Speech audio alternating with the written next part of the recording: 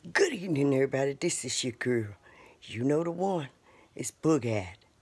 Betty, that is. Look, y'all. Times is really hard, you know. And uh, the reason I'm saying this is because since the pandemic, we've been through a lot.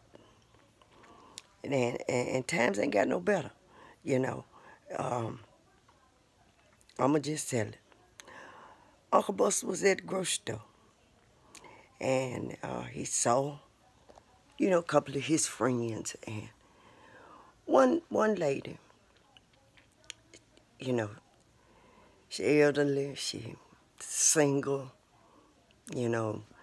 She got some nieces and nephews, no children, you know, but some some nieces and cousins and stuff. But nobody really help her out you know. And um, this let me know times is really hard. Uncle Buster said he witnessed her in the grocery store packing some items away as to hide, not pay for. And in the moment, you know, he wasn't the only one that saw. Some folks saw. But the other people started whispering. Now, in that moment, here's my question. What do you do? I'm going to tell you what Uncle Buster done. Uncle Buster casually slid upon a girl.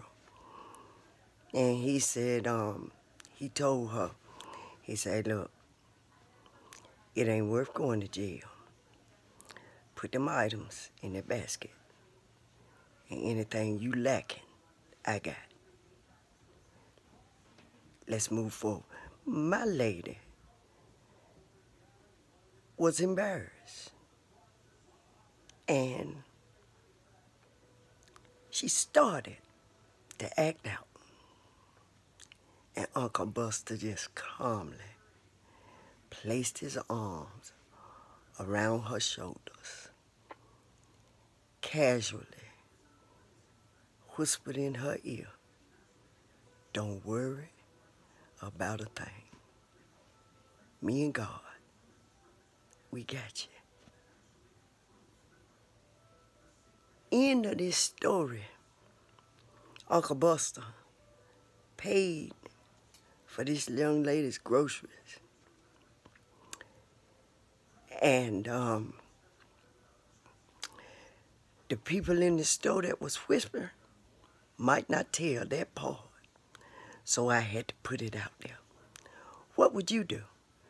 Would you be the one whispering? Or would you go in your pocket, pay for it, so she don't be embarrassed? Holler at me.